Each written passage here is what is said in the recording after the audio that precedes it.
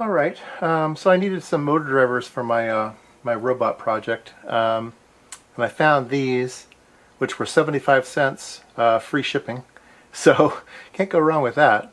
It's a dual H-bridge, so it'll drive two different motors in an H-bridge configuration, or you can drive one stepper motor with four phases. But um, I wanted to use it as two for um, uh, H-bridge, and um, it says it's an L298N uh, chip, or maybe that's the name of the module. But anyway, it's it, the uh, chip itself is an MX1508.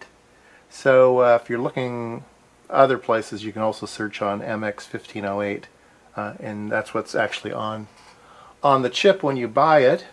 Uh, so let's uh, let's come over here, and I have. Um, I have uh, the uh, board on the proto board here and uh, there's an output for the motor and that goes over over here.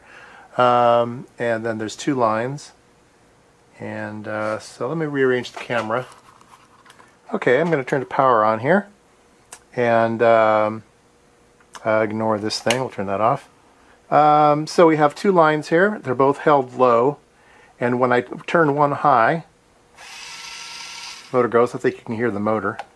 So let me uh, let me zoom out here, and uh, we have my uh, my uh, Mars rover over here.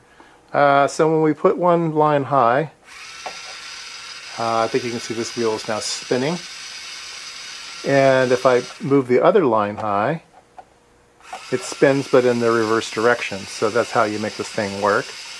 And then you could pulse modulate this thing make it uh, make it go slower. Uh, so that's what I intended doing. Uh, make the, turn this into an Arduino. So it just requires two lines. Um, and um, supposedly when they're both low, it's in a uh, kind of a tri-state, and when they're both high, it's in a uh, lock a brake condition. So the the winding should be energized, but it's in a brake condition. So uh, I don't know exactly how that works, but um, let's go back to to down here. So we have two lines. So let's uh, uh, let's use this thing here, and we'll use uh, the bottom two bits here. You can see when uh, when that LED is high, the motor runs. High, high, okay.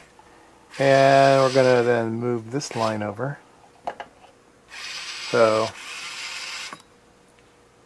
it'll be forward, backwards, brake, float, forwards, backwards, brake, float.